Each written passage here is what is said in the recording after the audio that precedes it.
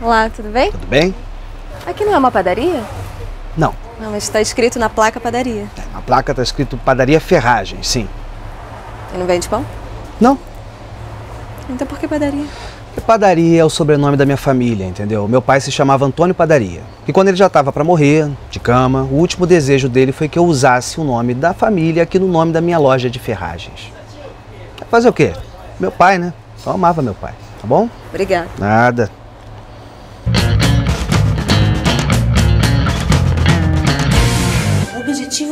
Técnico em administração é justamente formar profissionais para auxiliar nas rotinas administrativas de uma empresa, desde fluxo de caixa, contas a pagar, contas a receber, questões contábeis, guias de recolhimentos, até a questão de recursos humanos também.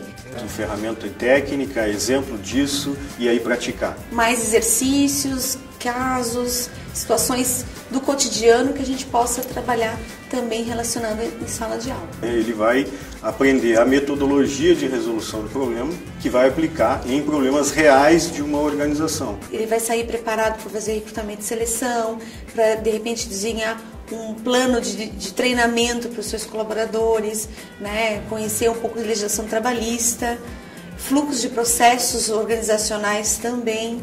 Então ele vai estar realmente preparado para essas rotinas administrativas como um todo. Por favor, onde é que fica aqui o pão árabe? Pois é, pois é. Cadê o pão árabe, né? Não tem. Não Mas tem. que absurdo é esse?